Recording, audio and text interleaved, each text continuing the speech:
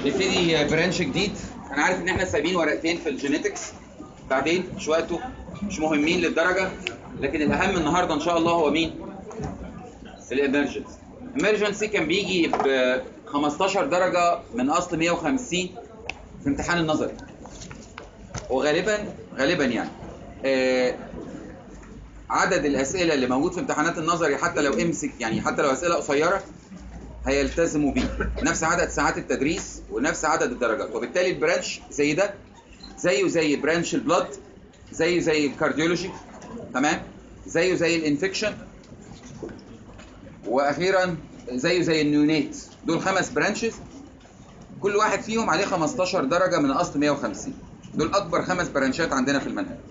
وإن كان دي تعتبر أصغرهم في عدد الورق بالنسبة للأربع مذكرات التانيين.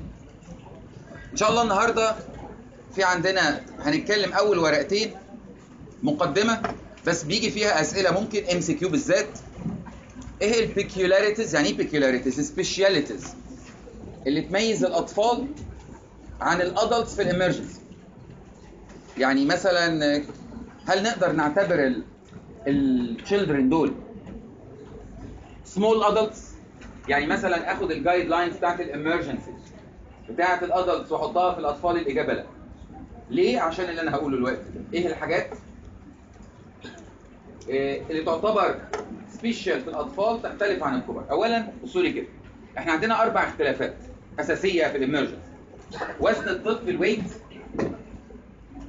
ال anatomy physiology وال psychiatry يعني إيه؟ يعني بصوا كده. لو واحد مثلا طفل جاي لي الاستقبال و shocked هل هتعامل معاه زي ال adult؟ لا.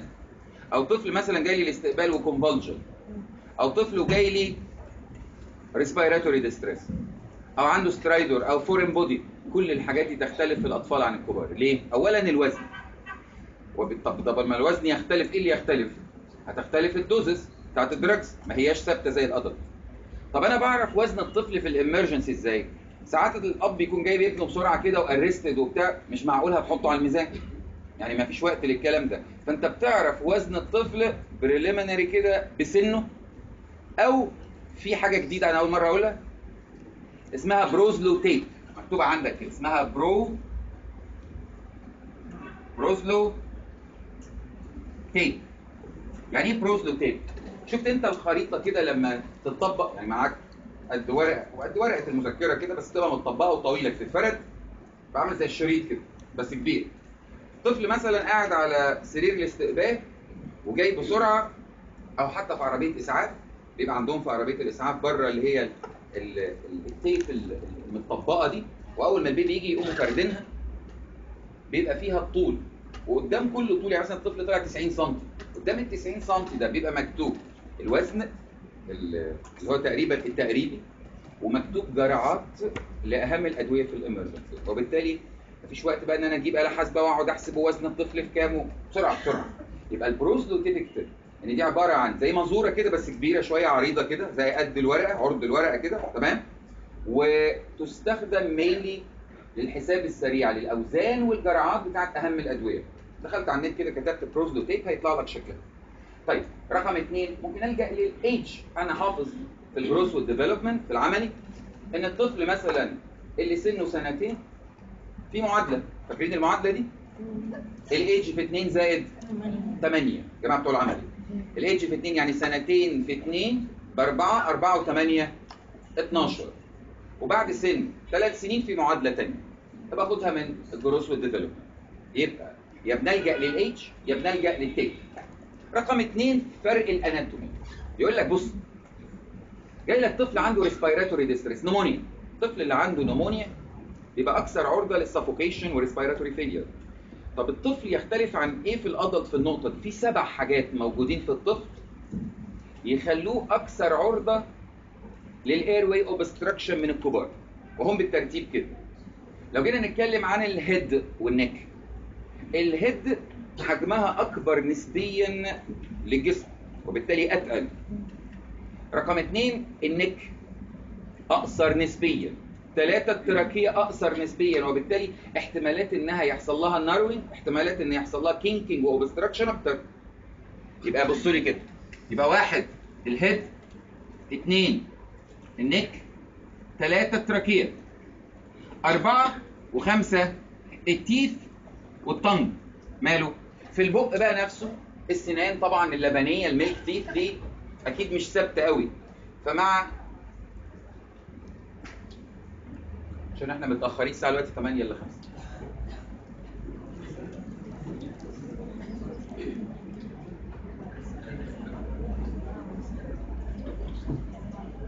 معلش يا جماعة اللي جنبه كرسي فاضي يقعد فيه. ما حدش هيعرف يدخل.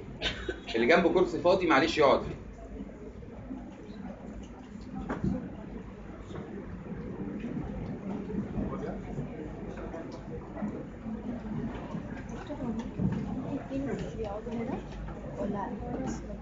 مش عارف هيعرفوا يدخلوا لحد هنا ولا لا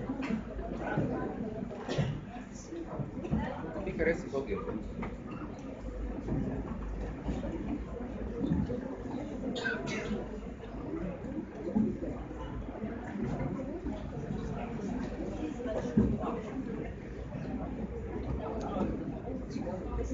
طيب بصوا يا شباب مرة تانية.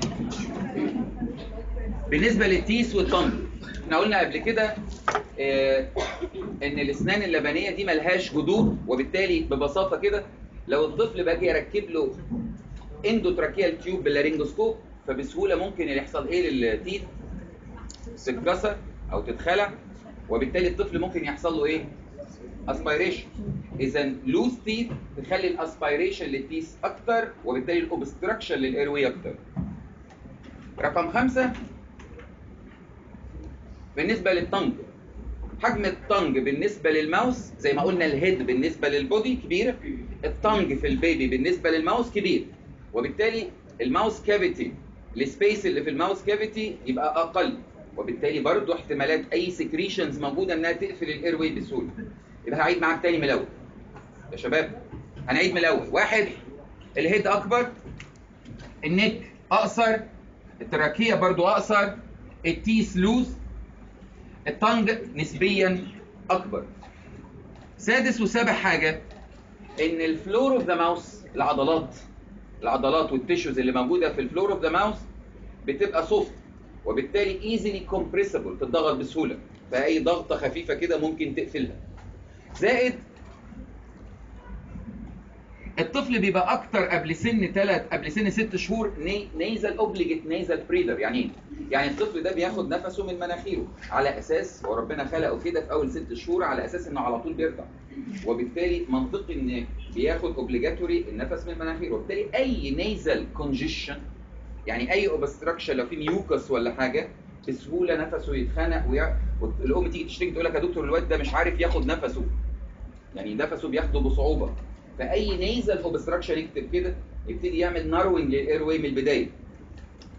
يبقى اللي أنا قلته من الأول إن الطفل يختلف عن ال adult في ال emergency. رقم واحد في الوزن رقم اثنين في ال anatomy بتاع ال airway بيخليه أكثر عرضة لإن يحصل لها obstruction سواء كان راسه كبير لسانه كبير رقبته قصيرة trachea قصيرة سنان ضعيفة ال floor بيتضغط بسهولة. وبياخد نفسه أساسا من مناخيره قبل سن ست شهور في أي قفلة في المناخير هتخلي فيه narrowing from the beginning of the airway. طيب الحاجة الثانية بقى في اختلافات في الفسيولوجي. إزاي يعني؟ يقول لك اختلافات الفسيولوجي إحنا عندنا في ال emergency مين أكتر ثلاثة system؟ هنركز عليهم. في ال emergency وهما سبب الوفاة غالبا. respiratory cardiac CNS أو نقدر نقول CNS failure respiratory failure heart failure لا خليك معايا أنا مش بقول حاجة بالترتيب أنا بس بفهمك هنمشي إزاي. وبالتالي من أكتر الحاجات اللي هتهمنا أثناء ال emergency ال vital sign طيب أنا إزاي بحافظ على ال cardiac function بحافظ على ال cardiac function عن طريق adequate cardiac output. طب هو أصلا ال cardiac output يساوي إيه في إيه؟ هيساوي stroke volume في ال heart rate مش لازم تقلب بس خليك معايا في المذاكرة. لو هزود حاجة هقول لك بس افهم. آه رقم اثنين نفس الفكرة على مستوى ال ventilation لل lung لو أنا عايز أزود أو أنا عايز أخلي فيه adequate ventilation هو ال minute volume أو ventilation يساوي إيه في إيه؟ يساوي tidal volume برضه في ال respiratory rate يبقى أنا عندي بص لي كده أثناء ال emergency أنا عايز أحافظ على ال cardiac output وعايز أحافظ على ال minute volume يعني إيه minute volume يعني كمية الهواء اللي بتدخل ال lung في دقيقة. وايه output ده عبارة عن ال amount of blood اللي موجودة في ال circulation بتعتمد mainly على heart rate stroke volume وده respiratory rate tidal volume السؤال بقى بيقول لك الأطفال تتميز أو تختلف عن الكبار في إن؟ ال stroke volume أقل من ال adult وال tidal volume أقل من ال adult ومش بس أقل. آه، فرص الطفل على إنه يزود ال stroke volume أو يزود ال tidal volume قليلة جدا يعني عشان طفل في ال pneumonia. عنده ال tidal volume مثلا كام ملي كده حاجة بسيطة حسب حسب وزنه طبعا. آه، حاجة بسيطة. هل يقدر يفرد ال chest قوي عشان يكتر ال volume؟ صعب. وبالتالي عشان ي compensate أي مشكلة respiratory مفيش عنده إمكانية غير إنه يلعب في مين؟ respiratory rate يبقى محاولات الطفل كلها أثناء ال respiratory emergency بتنصب حوالين ال respiratory rate هو غير قادر قوي زي الكبار على إنه يزود ال tidal volume نفس الكلام على مستوى ال cardiac output الفرق بين ال adult والأطفال إن الكبار ساعات في compensatory mechanism تمكنهم يزودوا ال stroke volume الأطفال لأ. وبالتالي محاولاتهم كلها عشان تحافظ على ال cardiac output بتبقى من خلال ال heart rate إذا ما أجي أقول لك واحد عنده مشكلة في ال circulation shock أول compensatory وأهم compensatory mechanism هيحصل للأطفال هو ال tachycardia إنه هيحاول يزود ال heart rate نفس الفكرة على مستوى ال ventilation الطفل يكون عنده أي respiratory problem هتلاقي أول compensatory وأهم compensatory mechanism للطفل في ال respiratory emergency هي respiratory وبالتالي وجب عليا في الأطفال إن أنا أحفظ كويس أرقام ال heart rate وأحفظ كويس أرقام ال respiratory rate حسب السن.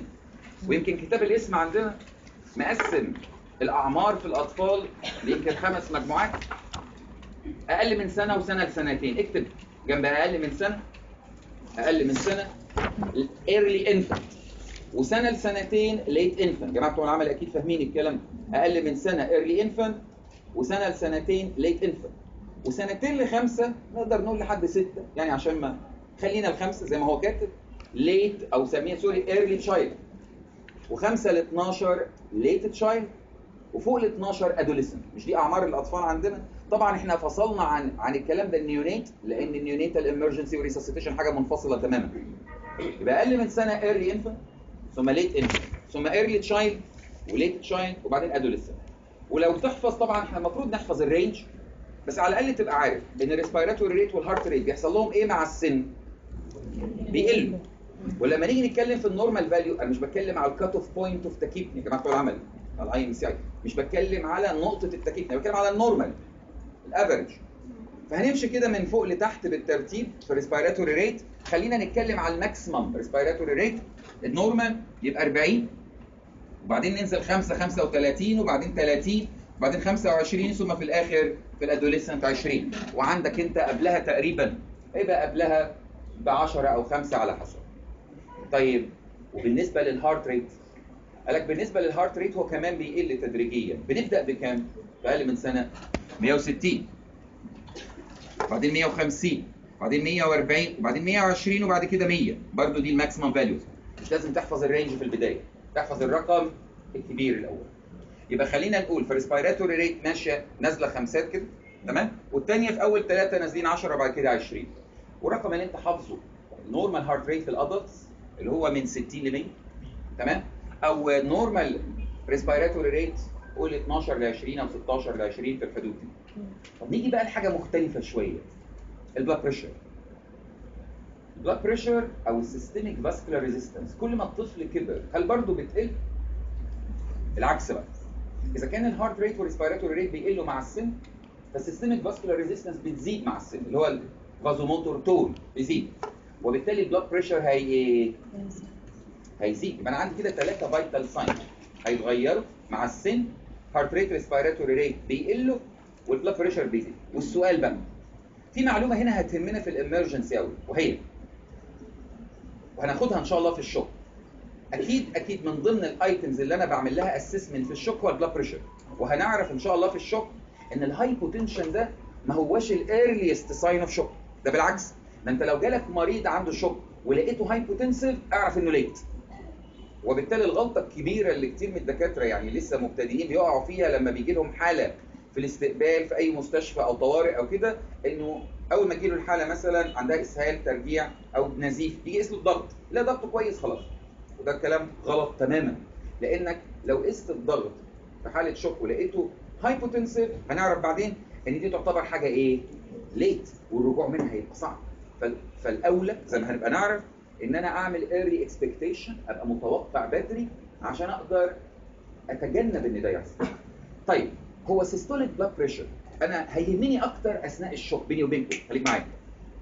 هيهمني أكتر ال systolic blood pressure ولا ال diastolic ال systolic mainly وبالتالي هيهمني قوي أرقام ال systolic blood pressure طب وهي أرقام ال systolic blood pressure بتبقى كام تقريبا؟ هتلاقوها بادئة من زي ما أنتم شايفين برضو هنبدأ من تحت أو خلينا نقول بالرقم الكبير.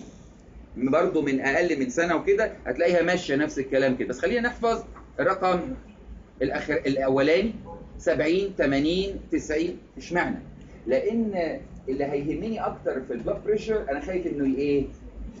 يعني أنا في ال... في ال shock عارف إن ال heart rate هي إيه؟ هيزيد. في ال respiratory emergency عارف إن ال respiratory rate يعني في ال respiratory ال respiratory rate هيزيد وعارف إن في ال shock ال heart rate هيزيد. بينما في ال shock أنا عارف إن ال blood pressure هي إيه؟ إيه. فخلينا أتكلم عن الرقم القليل. فلما نيجي نتكلم 70 تمام؟ 80 80 90 وفي الآخر خالص 100 السؤال بقى هو ال normal systolic blood pressure عندنا في الأطفال المفروض في الباطنة بيقولوا لكم إن ال hypertension مثلا 90 على 140 خدنا فاكرين في ال nephro وقعدنا نقول ال ideal systolic blood pressure كام؟ وال ideal diastolic blood pressure له معادلة بس المعادلة دي تقيلة قوي. في ال emergency في معادلة أبسط وأسهل. يقول لك إيه؟ أقل systolic blood pressure يبقى موجود في الطفل يساوي سنه في 2 زائد 70 عمره بالسنوات في 2 زائد 70 يعني لو جاي لنا طفل خمس سنين 5 في 2 ب 10 10 و70 80 يبقى الطفل اللي سنه خمس سنين المفروض لما اقيس له الضغط ما يقلش عن 80 systolic. لو قل عن 80 يبقى الطفل ده hypo إيه؟ مفيش بقى اضرب الايدج في 2 زائد مش عارف مفيش كده. ايدج في 2 زائد 70 وخلاص. وده ال minimum اكتب كده ده minimum systolic blood pressure in emergency في حالات الطوارئ. تمام؟ يبقى لنا آخر حاجة خالص وهي ال psychiatry. أكيد الطفل أنت مثلا قاعد في الاستقبال وجاي لك واحد أكيد وهو سخن أكيد وهو convulsing مش هيبقى يساعدك في ال examination زي الشخص العادي. أنت لما تجرب كده تكشف على ولد وتشوف اللوز بتاعته ولا حاجة ممكن تلاقيه دوخك في الأوضة. يعني تجري وراهم وتقعد تمسكه وتكتفوه يا جدعان وتجيب أربعة واحد من رجله هنا. في عيال ما شاء الله. لو رقصتك رقصه يعني تمام وانت قاعد كده ومش مدي إخوانا واتخبطت أو حتى ساعات في أطفال وانت تيجي تكشف على اللوز تلاقيهم إيه؟ لا مش عضك أنت مش هتدخل صبعك يعني تمام؟ بس هتلاقيه ماسك جامد على أسنانه مش عارف يفتح إيه مش عارف مش عايز يفتح بقه. هنا حتى وهم بتيجي تفحصهم بيتعوروا يعني من كتر ما هم إيه tension فال communication أصعب لأنه مش هيفهمك ومش هتقدر تفهم عايز يقول إيه وال fear نفسه إنه خايف منك. طيب دي مقدمتنا أو يعني نقدر نقول أنا شايف لو جالنا سؤال في الامتحان في الجزئية دي هيبقى في الحتة بتاعه ال peculiarities بتاعه ال airway يجي سؤال صغير كده في الامتحان peculiarities of the pediatric airway عن الكبار في ال emergency طيب.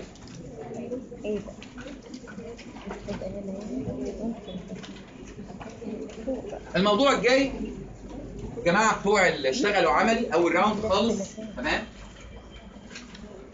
بالنسبة لهم هيبقى موضوع مش جديد قوي لكن يعتبروه زي مراجعة لأن هو سؤال نظري بغض النظر عن كونه كان مهم في العمل ال arterial blood gases عندنا كده station بخمس درجات بتيجي في امتحان العمل خمس درجات ولكن في سؤال بقى نظري بيجي metabolic acidosis قبل ما أتكلم عن ال metabolic acidosis في عندكم صفحة كده مقدمة يعني بتاع 10 دقائق بصوا لي على السبورة كده لو أنا هقول ال normal pH بتساوي كام؟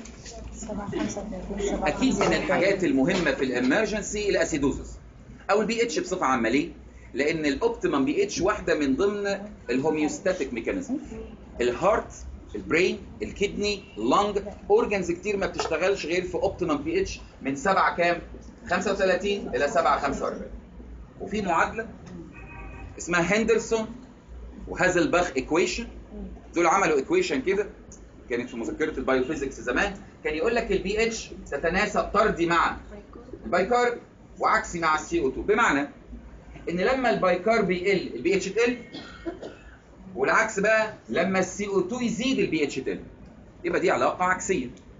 تمام كده؟ وبالتالي إيه تعريف acidosis و alkalosis المفروض إن إحنا حافظين إن ال acidosis ال pH تقل وال alkalosis ال pH تزيد. هو المفروض مش كده. المفروض إن في كلمة اسمها acidosis وكلمة تانية اسمها acidemia إيه الفرق بين الاثنين acidemia هو إن البي اتش تقل فعلا. اما ال acidosis هي ال process اللي أدت إلى إن البي اتش تقل اكتبها كده. ببساطة ال acidemia هو نقص البي اتش طب ال acidosis هي ال process التي تؤدي ممكن ممكن تؤدي مش بالضرورة ممكن تؤدي إلى نقص البي اتش هتقولي طب ما هو لازم هتقل هت- هتنقص البي اتش لا ما هو ممكن تبقى compensated ولو compensated مش هتنقص البي اتش مفهوم الكلام؟ يبقى تاني. ال acidemia acidemia هو إن فعلا أجي أبص على ورقة ال arterial blood gases اللي تدخل في الجهاز وتطلع لي ورقة digital كده. أبص فيها ألاقي إن البي اتش قليلة أقل من 7.35 تمام؟ أما acidosis هي ال process نفسها وهتفهم بعد شوية يعني. والعكس في ال alkalemia alkalemia هي ان البي اتش تزيد عن 7.45 بينما alkalosis هي ال process اللي بتؤدي إلى كده. طيب مين ال organs اللي ربنا خلقها لنا في الجسم عشان تحافظ على البي اتش اتنين lung و kidney ال lung بتتحكم في ال CO 2 وال kidney بتتحكم في ال bicarb وعشان تفضل ال pH optimum normal بيبقى الكفتين دول ممكن يتحركوا مع بعض عشان يعوضوا بعض. بمعنى الجماعة بتوع اللي كانوا خدوا باطنة عامة في أول راوند لو فاكرين خدوا diabetes وخدوا حاجة اسمها DKA diabetic ketoacidosis ال diabetic ketoacidosis ده إن المريض ما عندوش انسولين فبالتالي الجسم مش قادر طبعا الإنسولين من ال anabolic hormone. طيب طب لما الإنسولين يكون anabolic إذا غيابه؟ غيابه إيه؟ catabolic هناخد الكلام ده إن شاء الله بعدين. بس لما يبقى catabolic أكيد ال lipid هتتكسر.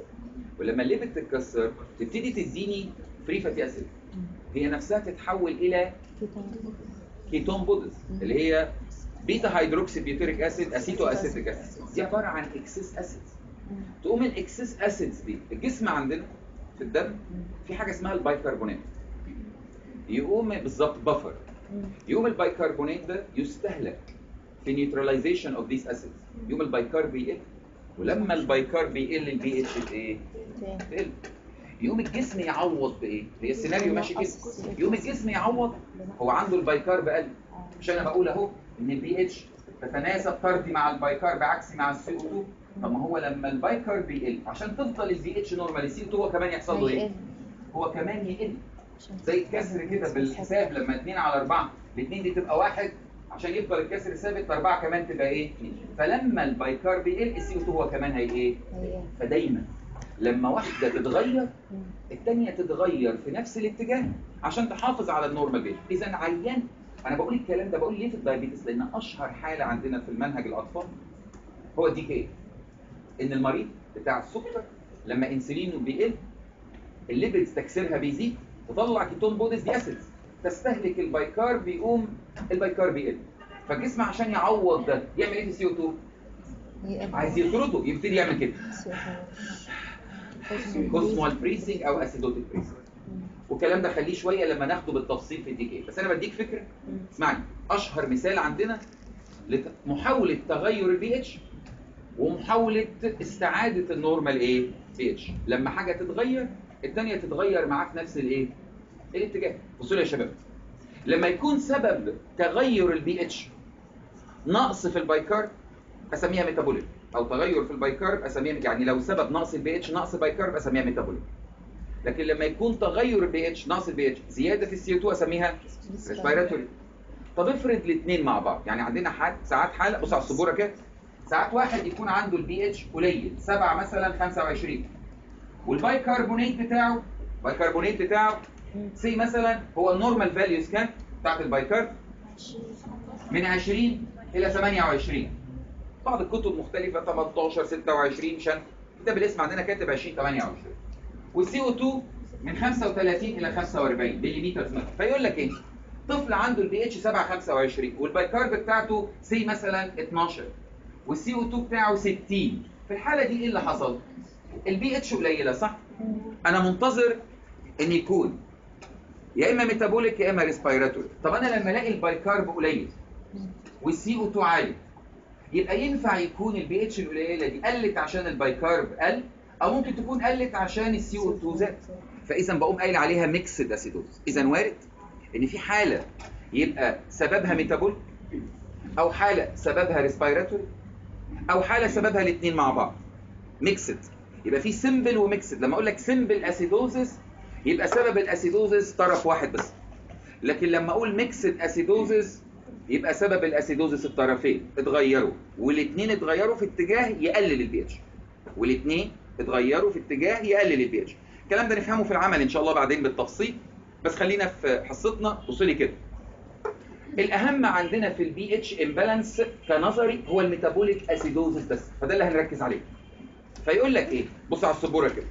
لما أقول metabolic لا قبل خلي- خلينا في الصفحة اللي فاتت. لما أقول metabolic و acidosis كلمة acidosis يعني البي اتش إيه قليل؟ وكلمة metabolic يعني سبب نقص البي اتش هو نقص البيكربونات وبالتالي متوقع إن ال CO2 هيحصل له إيه؟ لا عشان يعوض. هيحصل له إيه؟ هيقل. اللي إحنا لسه متكلمين عليها حالة ال DKA طيب يقول لك إيه؟ normally ركز بقى عشان دي يمكن أصعب جزئية في البي اتش في عندنا حاجة في الدم أو المفروض إن الدم فيه positive ions و negative ions يعني إيه positive و negative يعني أنا عندي cation و anion تمام كده؟ من ضمن ال cations اللي موجودة في الجسم الصوديوم. بس في بوتاسيوم وزنك و iron و copper في كتير. ولكن الأشهر فيهم هو مين؟ هو الصوديوم. وعشان كده إحنا بنسميه measured cation وفي عندنا حاجة تانية اسمها anion زي الكلورايد البيكربونات وفي حاجات تانية زي ال lactate fumarate acetate دي كلها اسمها negative ions أو بنسميها anion السؤال المفروض إن الطبيعي لو أنا حطيت ال positive وال negative الاثنين قدام بعض في الدم يكون مجموع الشحنات الموجبة كلها قد مجموع الشحنات السالبه لأن في النهاية ال blood is neutral كل الشحنات الموجبة قد كل الشحنات السالبة. فهو يقول لك إيه؟ استفادوا بالظاهرة دي في حاجة تتعلق بال metabolic acidosis تحديدا وهي يقول لك مين أشهر ال cations قياسا بنقيسها كتير هي الصوديوم. فيسموه هو ده ال measured cation. ومين أشهر negative ال chloride والبيكربونات. فيسموه ال measured anion وأنا عارف إن في other cations موجودة بس أنا مش بقيسها كتير وفي other anions موجودة وأنا مش بقيسها كتير. فلما نيجي نقول مثلا ال normal value في الصوديوم كام؟ هنبقى ناخد بعدين إن ال normal value من 130 ل 145 أو 150 قول 145 الكتاب كاتب في المذكرة دي كده. 130 ل 145 وال normal 130 ل 145 خليك بس معايا. وال normal للكلورايد تقريبا يعني نقول من 90 110 أو 115 ولا حاجة. والبيكربونات لسه قايلين إنها من 20 إلى 28 لو هناخد متوسطة يعني هنقول مثلا الصوديوم 135 وهنقول مثلا سي الكلورايد 100 تمام؟ وهنقول مثلا البيكربونات 25 فخلينا نقول أدي الصوديوم 135 كلورايد 100 ال bicarb 25 اذا الصوديوم 135 ومجموع ال chloride وال bicarb 125 اذا الفرق بينهم 10 10 بالموجب ولا بالسالب؟ بالموجب لصالح الصوديوم. وبالتالي المفروض الفرق ما بين ال other cation وال other anion يكون سالب 10 ويسموا الكلام ده اللي أنا قلته ده anion gap طب ليه عملوا كده؟ هتشوف دلوقتي. تاني يبقى بيجي سؤال في ال MCQ عندكم في آخر السنة يقول لك إيه تعريف ال anion gap ركز معايا. يعني إيه تعريف ال anion gap anion gap هو the difference between the unmeasured cation وال unmeasured anion. وسموه anion gap لأنه عادة في الطبيعي بيطلع بالسالب. لأن الفرق بين ال measured طلع بالموجب. غالبا الفرق ما بين. بين اللي أنا ما قستوش بيطلع بالإيه؟ بالسالب. آه، حساب المعادلة دي في حد ذاته ملوش قيمة. قيمته الأساسية بتبان أثناء حالة ال metabolic acidosis هتقول لي إزاي؟ بص كده على السبورة بقى. اللي جاي ده هو الجزء اللي عايز فهم. بص لي. دلوقتي anion gap بص إحنا قلنا إنها تساوي صوديوم ناقص الكلورايد زائد مين؟ البيكربونات يعني anion gap بقدر أجيب الرقم بتاعها من طرح السوالب كلها الاثنين ناقص الموجب اللي هو الصوديوم طب لما نيجي نقول حالات هو ال normal value كام؟ بتبقى تقريبا من 8 إلى 16 اللي إحنا حاطينها في ال average 10 كده. يقول لك إيه؟ بص يقول لك لو أنا عندي حالة metabolic acidosis إذا أنا متوقع إن ال bicarb هيحصل له إيه في ال metabolic acidosis هيقل. مش كده؟ طيب وهو في المعادلة اللي عندك دي لما ال bicarb يقل منطقي ال anion gap يحصل له إيه؟ هتزيد. يبقى أنا من... كنت منتظر إن كل حالات ال metabolic acidosis طالما عندها ال bicarb قليل منطقي إن ال anion gap إيه؟ أهي. يعني أدي ال anion gap وأدي الصوديوم ناقص الكلورايد زائد البيكربونات لما ال bicarb يقل منطقي إن ال anion gap إيه؟ يزيد. ولكن لقوا إيه بقى؟ لقوا إن في حالات metabolic acidosis ال anion gap فيها بتفضل normal وحالات تانية ال anion gap فيها بتزيد يبقى في حاجة حصلت. أنا منتظر إن كله يزيد لا في حالات فضلت normal طب اللي فضل normal قعدوا يعملوا investigation لقوا بيفضل normal ليه؟ لأن في حاجة تانية بتزيد بتعادلها. لقوا إن هي كلورايد وعشان كده قالوا إيه بقى؟ طب خلاص بقت سهلة. تعال نقسم حالات ال metabolic acidosis إلى مجموعتين. مجموعة هيبقى فيها ال anion gap عالية ودي المجموعة الكبيرة الأشهر المنطقية. ومجموعة تانية فيها ال anion gap normal ومنطقي إن الكلورايد فيها هيبقى إيه؟ زيادة. ما تيجي تقلب الصفحة بقى هتلاقي الكلام اللي أنا بقوله لك ده؟ بص لي كده. يقول لك إيه؟ يقول لك إيه؟ كلمة metabolic acidosis يعني نقص بي اتش ونقص bicarb طيب وإيه هي أسباب ال metabolic acidosis أسباب ال metabolic acidosis مكتوب عندك mechanism. إيه ال mechanism بتاعت حدوث ال metabolic acidosis بص على السبوره ال metabolic acidosis بيحصل نتيجة بيحصل نتيجة ثلاث حاجات. أو خلينا نقولها بالشكل ده. حاجتين كبار. كده أسهل. يا إما بايكربونات خليك معايا هنا. bicarb loss أو يعني ده bicarb loss أو bicarb consumption يا loss يا consumption طيب وال consumption جت نتيجة إيه؟ زيادة مين؟ زيادة acids طيب وال acids زادت إزاي؟ ثلاث حاجات. يا إما endogenous increase يا exogenous increase يا failure of excretion.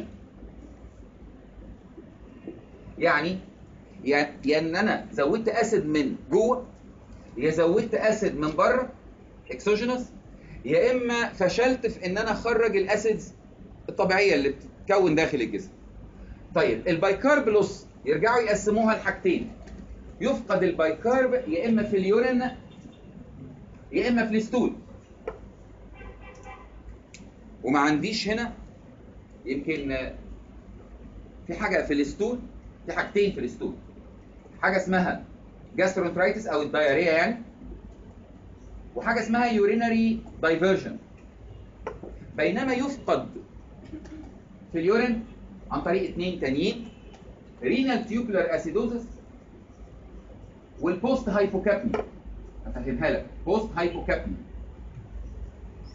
طب وال endogenous post hypocapnia post hypocapnia hypocapnia يعني نقص ال CO2 هقولها لك. endogenous بقى. إيه اللي يزود ال acids endogenous؟ حاجتين. ketoacidosis تمام؟ و lactic acidosis طب مين الحاجات اللي بتزود ال ketone bodies اتنين. لسه قايلها لك. ال DKA وال starvation الناس اللي جعان بتحرق ال fat. وال lactic acidosis اتنين. ال hypoxia وال liver cell failure. امال ال exogenous من الخارج؟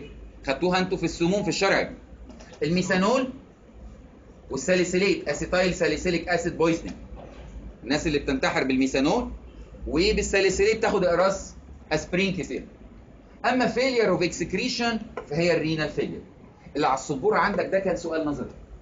تمام؟ ال mechanism وال causes والتقسيمة تنفع للثلاثه أعيدهم تاني. تنفع لحالات ال metabolic acidosis.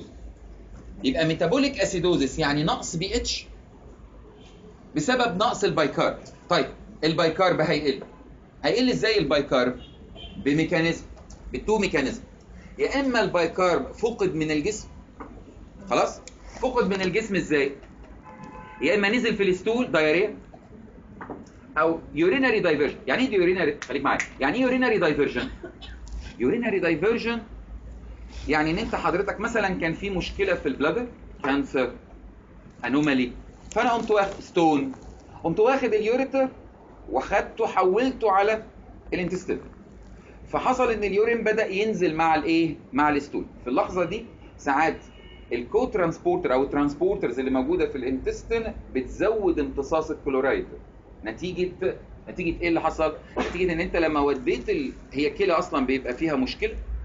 فبتنزل البيكربونات في ال stool وتمتص مكانه ال intestine تمتص مكانه الكلورايد وده نفس اللي بيحصل في ال diarrhea إن لما يحصل diarrhea الجسم بيفقد bicarb والبيكربونات negative charge. فعشان يعوض ده يقوم يزود مكانه في ال transporters اللي موجودة في ال intestine يزود مكانه ال absorption of chloride يبقى دايما لما بيبقى فيه bicarb loss بيعمل مكانه إيه؟ chloride absorption يعوضه اكتبها كده. يعني أثناء ال bicarb loss الجسم بيعوض بزيادة ال chloride absorption ونفس الكلام على مستوى ال urine. أنا أول مرة أقول في العملي كنا قلناها. يعني إيه renal tubular acidosis ده خلل ساعات بيكون وراثي تمام؟ أو acquired في ال renal tubule من فوائد ال renal tubule إنها بتمتص ال bicarb reabsorption of bicarb فلما ال tubule بتبوظ لسبب ما وراثة مثلا يقوم ال bicarb يبقى lost في ال urine. ولما ال bicarb يبقى lost في ال urine الجسم يعوض ي compensate بامتصاص مين؟ كلورايد ونفس الكلام كلمة post hypocapnia يعني إيه post hypocapnia الناس الهستيريا ال hysterical اللي هم بيعملوا كده. من الهستيريا ال hyperventilation أثناء ال hysterical personality فال hyperventilation معناه إنه بيعمل CO2 wash لما أعمل CO2 wash ال CO2 بيقل فده بيتجه لحاجة اسمها respiratory alkalosis فيقوم الجسم يعوض بإيه؟ لما ال CO2 يقل الجسم يحاول يعمل إيه في ال bicarb؟ يقل هيقلل. يقوم يفقد bicarbonate in urine هو الجسم التاني. يبقى أثناء ال hysteric هستيريا في hyperventilation اكتب كده.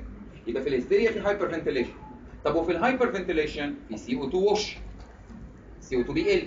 طب لما ال CO2 بيقل الجسم يعوض بإيه؟ loss of bicarb in urine مم. فلما الكلى تفقد bicarb في ال urine تقوم تعوض بزيادة مين؟ كلورايد أنا بقول كده. ليه حطيت الكلورايد في المعادلة هنا في الأربع حاجات دول؟ عشان تبقى حافظ. بص لي كده. إن الأربعة دول أو ال bicarb loss بصفة عامة هم أنهي مجموعة في ال metabolic acidosis ال normal anion gap اكتب عليها ال normal anion gap يبقى مجموعة ال normal anion gap هي مجموعة ال bicarb loss. وليه الكلام ده؟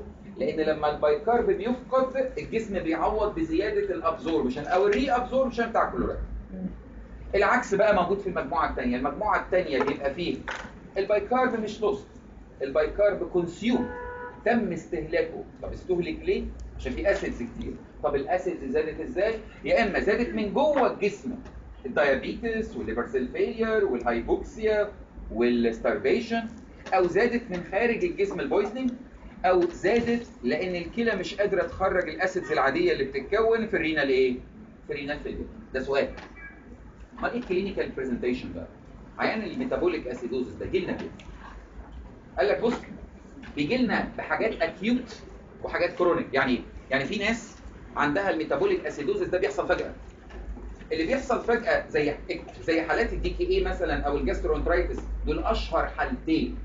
بيجوا acute metabolic acidosis في الأطفال gastroenteritis وال DKA دول معرضين لإيه؟ نشوف. الأطفال دي بتبقى معرضة لل nausea وال vomiting وال abdominal pain اشمعنى؟ لأن ال excess acid دي بتشتغل على receptors معينة. بتشتغل على ال chemoreceptor trigger zone في ال brain في ال brain stem فتعمل vomit و nausea. وبتشتغل على ال pain receptors اللي موجودة في ال peritoneum تعمل abdominal pain هقولها تاني. حالات ال acute metabolic acidosis معرضة لل pain abdominal pain وال vomiting عشان كده حالات ال DKA هتلاقوا بترجع وبطنها بتوجعها جامد من ضمن ال acute abdominal causes فعلا ال DKA causes أو أو medical causes of acute abdomen إن في stimulation لل pain receptors اللي في ال peritoneum بال acids وبرده ال acids بت stimulate ال chemoreceptor trigger zone اللي في ال brain. إيه كمان؟ المشكلة الأكبر في ال acute acidosis طبعا العيانين دول زي ما أنت عارف لما ال bicarb بيقل ال CO2 هي إيه؟ هيحاول إيه بيحصل مكتوب عندك حاجة اسمها Kussmaul breathing طب و Kussmaul breathing ده بين قوسين اكتب إيه؟ acidotic breathing أو hyperpnea أو rapid deep breathing أربعة. تاني. ال Kussmaul breathing هو هو. acidotic breathing هو هو hyperpnea hyper hyperpnea ورقم أربعة بيسموها ساعات rapid deep و deep بيحط عليها كذا خط. أنا يمكن قلت لكم قبل كده جالنا آه جالنا طفلة وكانت بتنهج وكانوا مشخصينها أزمة. بس أول ما شفناها لقينا البنت بتعمل كده. ال rapid deep breathing ده لا يساوي حاجة respiratory ما تلاقي طفل جاي لك الاستقبال ب rapid deep اعرف إنه metabolic acidosis عملنا لها اسمها السكر طلع السكر في السماء. وجينا نشوف ال arterial blood gases طلعت metabolic acidosis بدل ما كانت متشخصة ازمه شخصناها diabetic keto إيه؟ مش كل طفل بينهج عنده respiratory cause ده معنى الكلام. طيب إيه كمان؟ الأطفال دي كمان معرضة. هو أنا مش قلت لك من شوية إن نقص البي اتش ده بيأثر على ال vital organs؟ فال acute metabolic acidosis يعمل كوم. بيشتغل على reticular activating system في ال brain وممكن يعمل كوم وبرده نفس القصة بيشتغل على ال heart سواء ال cardiac acceleratory center أو inhibitory center في ال brain stem ويبتدي يعمل arrhythmia و myocardial suppression إذا اخطر حاجة في ال acidosis اللي هيموت في ال acidosis هو ال heart. إن ال heart يحصل له suppression سواء لل contractility أو لل rhythmicity تمام؟ طيب في بقى حاجات عندنا chronic في ال acidosis زي إيه؟ إيه ال chronic في ال acidosis ال chronic في ال acidosis خدتوا أنتوا جماعة بتوع البطنه العامة خدوا chronic renal failure ماله chronic renal failure العيانين اللي عندهم هو مش الكلى دي glomerulus و tubule لو glomerulus باظ إيه اللي بيحصل؟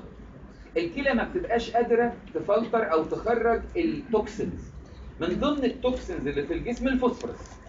مش لازم تكتب خليك بس معايا. هتتكتب بالتفصيل في البطن. من ضمن ال toxins اللي المفروض الكلى ال glomerulus يخرجها الفوسفورس. طب لما الفوسفورس الكلى ما تعرفش تخرجه بيزيد في الدم. طب لما يزيد في الدم يدور على سكة ثانية يخرج منها يحاول يخرج من ال GIT فلما يحاول يخرج من ال GIT ياخد معاه مين؟ كالسيوم. يقوم العظم يحصل له إيه؟ ده أحد ال mechanisms لحدوث حاجة بنسميها osteoporosis أو بنسميها osteodystrophy renal osteodystrophy يعني إيه كلمة renal osteodystrophy يعني إن الكلى كانت سبب في مين؟ في إن العظم باظ يتدمر زي ما أنتم بتقولوا أو يضعف. ال mechanism الثاني لإن العظم يضعف في حالات ال renal failure هو إن حالات ال renal failure أنا لسه قايل لك عندهم metabolic acidosis وبالتالي في excess acid هقولها تاني حاضر. ال phosphorus ال phosphorus زايد في الدم. مش عارف ينزل في ال urine فينزل في ال GIT. فلما ينزل في ال GIT excreted في ال GIT ي chelate كالسيوم. طب هو لما هي chelate كالسيوم هياخد الكالسيوم معاه. يقوم الكالسيوم في الدم إيه؟ يقل. لما الكالسيوم في الدم يقل هو هو في سكة هنا. يبتدي ال PTH إيه؟ يزيد. اسمعوا عن ال parathyroid تقوم ال PTH لما يزيد يعمل bone resorption اكتبها كده عندك لو عايز تعرفها. إزاي بيحصل ال renal osteodystrophy في الرسمة دي؟ تاني فوسفورس زاد نزل في ال GIT خد معاه كالسيوم. الكالسيوم قل في الدم. مين صديق الكالسيوم؟ يا جماعة بتوع العملي ال parathyroid hormone. في غده ربنا خلقها لنا للكالسيوم بس. الكالسيوم أول ما يقل تقوم ال PTH تطلع. ال PTH لما يطلع يعمل bone resorption المعلومة دي مش بالد... مش مهمة قوي عندنا في الأطفال. هي طبعا بتحصل في الأطفال بس ما حد بيسألها عندنا لكن هي أهم في البطن. اسمها renal osteo إيه؟ dystrophy ال mechanism الثاني إن عظم مرضى الكلى يحصل فيه مشكلة هي ال metabolic acidosis ليه؟ لأن لما عيان عيان عنده renal failure يعني مش عارف يخرج ال bicarb. أنا آسف مش عارف يخرج ال acid. فلما مش عارف يخرج ال acid يقوم يعمل إيه. ال buffer يقل. البيكربونات يبقى consumed طب لما البيكربونات يبقى consumed وخلص ال buffer يبتدي يدور على buffer تاني. مين ال buffer التاني اللي في الجسم غير اللي في الدم؟ في العظم. مين ال buffer اللي في العظم ده؟ calcium carbonate.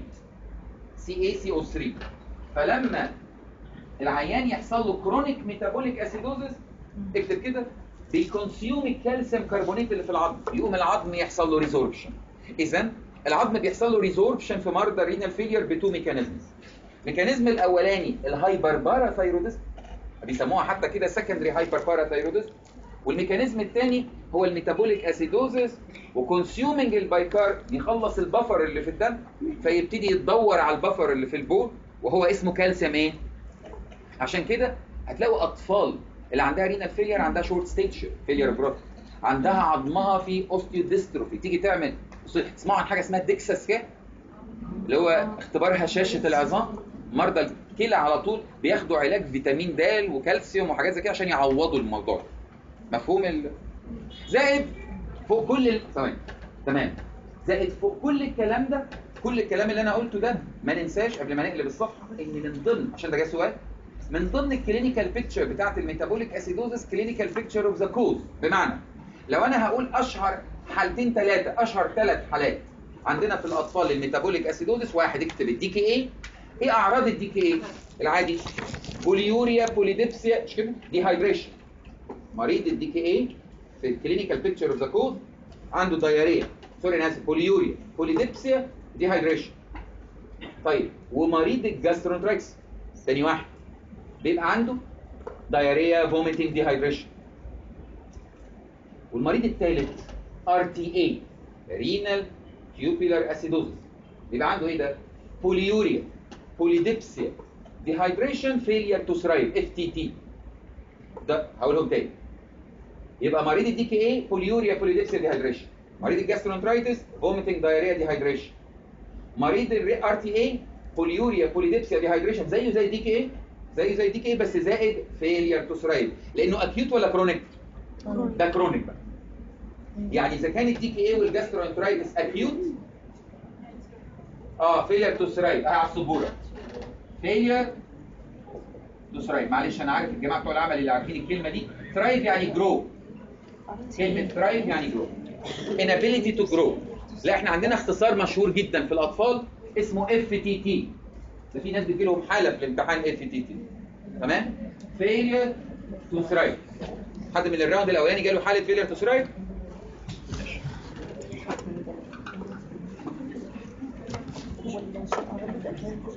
خدوا نفسكم بقى كده شوية. هو اي بامب diarrhea و dehydration ده نعم. بص hypocapnia إزاي؟ تاني الهستيريا. تمام؟ تعمل hyperventilation ليه؟ بس CO2 بص كده. يعني لما العيان يحصل له hyperventilation hyperventilation تمام يحصل له CO2 wash. ولما ال CO2 يقل، تمام؟ يقوم ال bicarb يقل compensatory عملت حسابي ينزل في ال urine فلما ينزل في ال urine يزود ال chloride reabsorption فيحصل normal anion gap طيب. مش مشكله اطلع على إيه ال investigation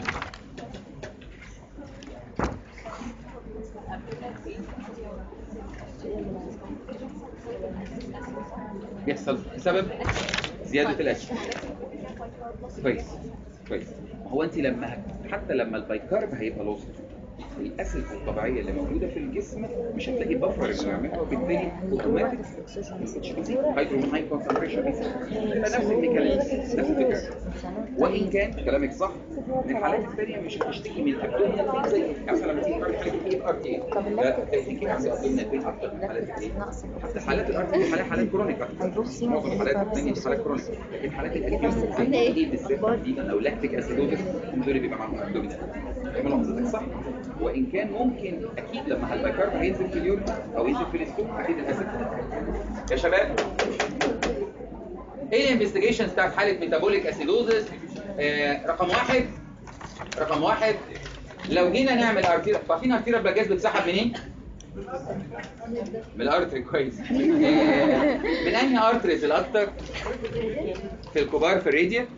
ممكن عندنا في الأطفال ساعات بنسحب brachial وساعات femoral دول أكتر ثلاث اماكن فعلا بنسحب منهم arterial blood gas وبيبقى السرنجه perpendicular وأول ما بتحط إبرة على فكرة من أصعب ال pains الموجودة هي إنك. إنك تحاول تشك artery لأن ال arterial wall في nerve وبالتالي ال- سحب عينة من ال artery very painful طيب ما علينا عملنا arterial blood gases هنلاقي البي اتش مالها قليلة والبايكربونات قليل بينما ال CO2 قليل عشان إيه قلنا؟ compensatory نيجي لحاجه مهمة بقى بص على السبورة. دلوقتي أنا عندي حالة acidosis إذا ال hydrogen ion لو جينا نرسم كده. أدي ال blood vessel وأدي الخليه ده بقى هيتكرر كتير الحصة دي الجاية إن شاء الله. إن لو أنا عندي سيبها لكم. لو أنا عندي واحد عنده ال hydrogen ion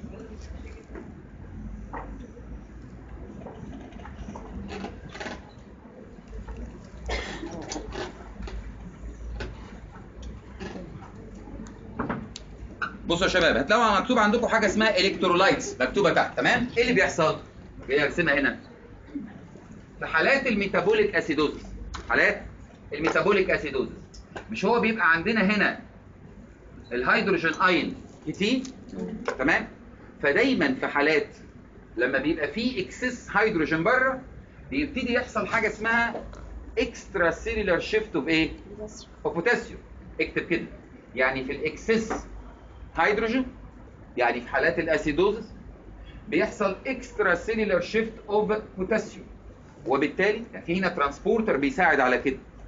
وبالتالي بيجي سؤال كتير في ال MCQ يقول لك of metabolic acidosis البي- ال- البوتاسيوم بيحصل له إيه؟ بيزيد hyperkalemia واللي أنتوا عارفينه في البطنة يمكن لما أنا بدي العيان انسولين أو بحاول أصلح ال acidosis ويبتدي الهيدروجين يحاول يدخل جوه الخلية. ياخد مع مين؟ احفظها كده إن الهيدروجين والبوتاسيوم مع بعض دايما. خلاص؟ يعني لما يبقى فيه هيدروجين يبقى مع بوتاسيوم ما تنساهاش. دخل الهيدروجين جوه هيدخل وراه البوتاسيوم. خرج الهيدروجين أو الهيدروجين موجود بره بيروح له البوتاسيوم احفظها بالشكل. ده، تمام؟